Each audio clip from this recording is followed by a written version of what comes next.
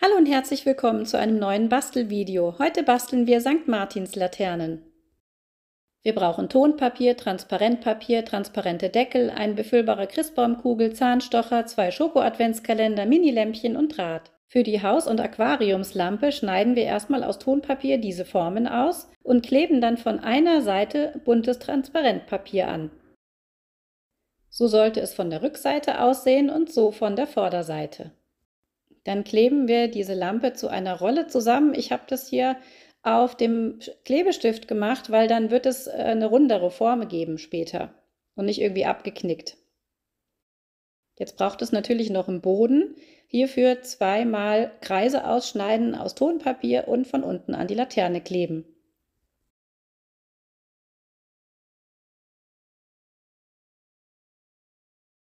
Bei der Hauslaterne gehen wir genauso vor wie bei der Aquariumslampe. Wir kleben buntes Transparentpapier an die Fenster und Türen an, dass es schön bunt wird und malen noch Fensterkreuze mit einem schwarzen Stift auf, wer mag. Dann falten wir die Laterne und kleben sie an einer Seite zusammen. Auch diese Lampe braucht natürlich einen Boden, hierfür ein Viereck ausschneiden und festkleben. Hierfür kann man einfach Karton oder Tonpapier verwenden. Für die Aufhängung ein Stück Draht zurechtbiegen und an die Laterne kleben. Für die ganz bunte Laterne nehmen wir einen transparenten Deckel, beschmieren ihn mit Kleber und wälzen ihn in diesen Transparentpapierschnipseln und tupfen die alle ein bisschen fest und kleben dann an die Stellen, wo noch kein Papier ist, noch weitere an. Die Laterne braucht dann nur noch Draht als Aufhängung. Für die Sternen- und Mondlampe brauchen wir den Schoko-Adventskalender und schneiden hierfür jeweils zwei gleich aussehende Reliefs aus und bemalen sie dann mit Nagellack, weil dieser Nagellack ist durchscheinender als Aquarellfarbe.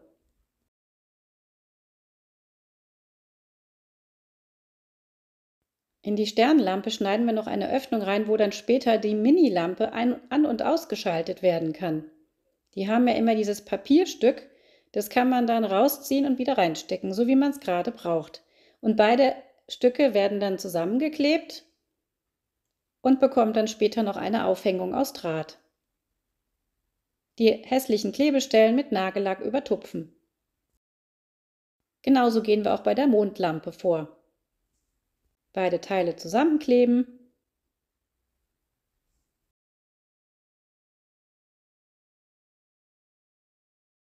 Eine Öse aus Draht ankleben für die Aufhängung und die hässlichen Klebestellen mit Nagellack überdecken. Für die Pilzlampe bemalen wir eine Hälfte der Christbaumkugel mit rotem Nagellack, einen transparenten Deckel mit weißem Nagellack, betupfen dann den Pilzhut mit weißem Nagellack und bemalen mit grünem Nagellack noch den Boden des weiß bemalten Deckels. In den weißen Deckel das Minilämpchen hineinkleben. Da müssen wir vorher ein Loch bohren, damit man dann hinterher auch wieder dieses Papierding rein und rausstecken kann. Den Pilzhut auf den weißen Deckel kleben und wieder eine Öse aus Draht ankleben.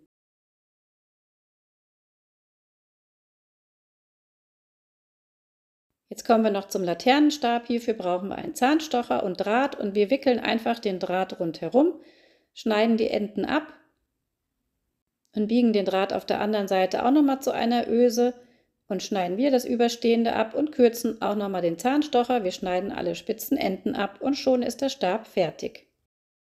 Na dann können alle Wichtel- und Puppenkinder zum Laternenumzug gehen.